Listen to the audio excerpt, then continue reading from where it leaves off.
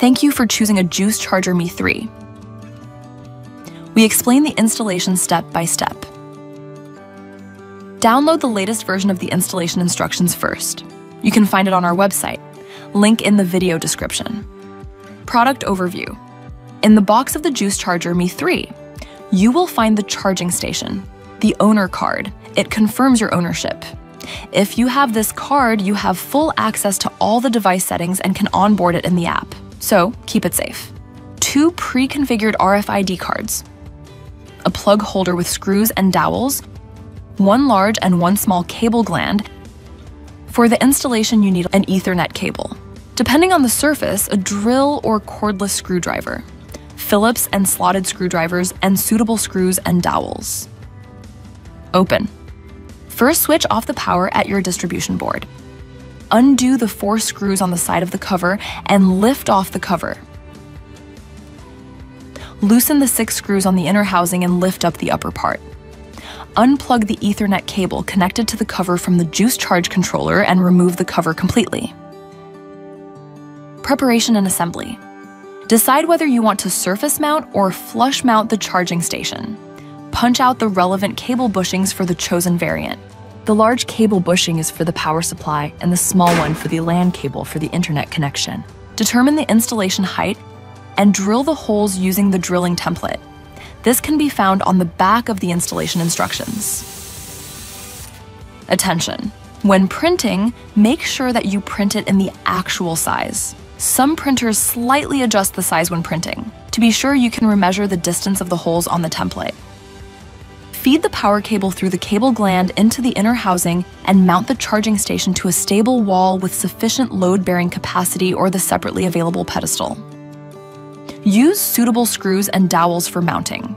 Please note, do not use countersunk screws and tighten the screws with a maximum torque of 3 newton meters, otherwise the housing may be damaged. Connection. Strip off the sheathing over a length of approximately 150 millimeters and each wire so that approximately 13 of 15 millimeters of copper are exposed.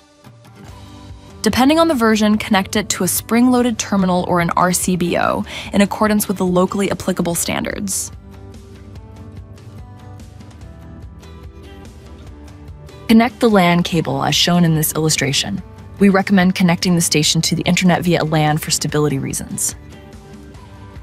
Tighten the cable gland with a torque of 9 newton meters. If you still want to connect the station to the internet via Wi-Fi, you can download the update tool on your laptop via the link in the video description. Open the program and click on Advanced Settings at the bottom right. Then connect your laptop to the Juice Charge controller using a micro USB if the USB connection is established and your laptop has an active internet connection, both dots in the top right hand corner will be green. Then click on Configure Network and enter the access data for your Wi Fi network under WLAN. Make sure that you have entered everything correctly and then click Next. Repeat this for all stations that you want to connect to the Wi Fi. If you want to set up a load shedding, refer to the illustration in Chapter 18 in the supplied manual. Commissioning. Place the cover of the inner housing on the assembled inner housing reconnect the previously unplugged Ethernet cable to the juice charge controller, switch on the circuit breaker in the station, and then the circuit breaker in the supply line.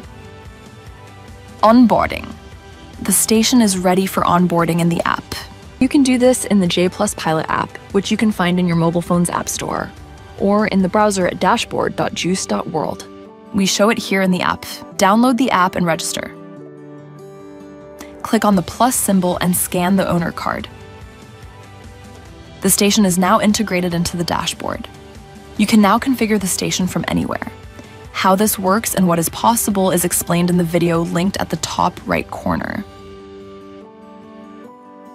Once you have completed the configuration, you transfer the owner card and thus also the rights to the owner.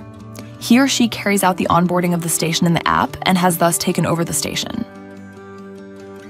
Completion. Pull the frame apart slightly and press the cover out of the frame from above. Peel off the protective film and carefully press the cover back into the frame until it clicks into place. Place the cover of the inner housing on the back plate, paying attention to the alignment. Tighten the six screws of the inner housing. We recommend a torque of 3 newton meters. Place the frame on the inner housing and tighten the four screws of the frame. Plug holder. Mount the supplied plug holder using the two screws and dowels provided. We recommend installing it directly next to the charging station. Testing. At the end, take a final test in accordance with the locally applicable standards and the regulations of the energy supplier. Note, to start the charging process, you may need to activate the station with one of the RFID cards supplied. That was the installation of the Juice Charger Me 3. You can find more videos on our channel.